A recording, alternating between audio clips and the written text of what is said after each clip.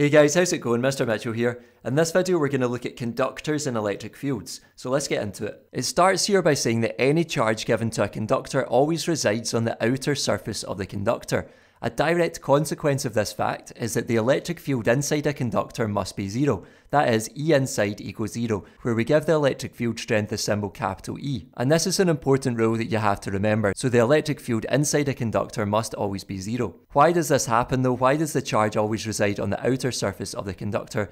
Well, it says here that the field must be zero inside the conductor because if it were non-zero, any charges placed inside would accelerate in the field and move until balance was reached again.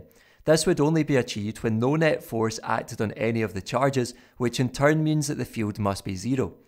This is also why any excess charge must reside entirely on the outside of the conductor with no net charge on the inside.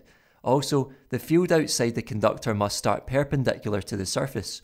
If it did not, there would be a component of the field along the surface causing charges to move until balance was reached. So that explains why it happens. A consequence of this is that devices which might be affected by an electric field are enclosed in a conductive material so that the electric field inside it is zero. This is known as electrostatic shielding. For example, the signal cable below has braided, for flexibility, copper shielding to screen electric fields from the signal carrying core. So you can see the braided copper shielding here, and that's going to screen signals to block out any interference when you're trying to carry data or signals through wires. So electrostatic shielding is one application, but here's another one called the Faraday cage.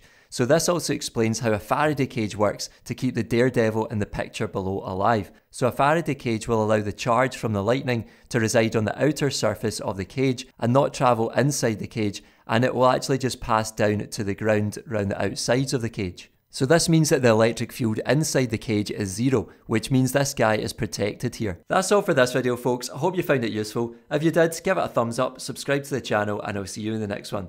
Take care.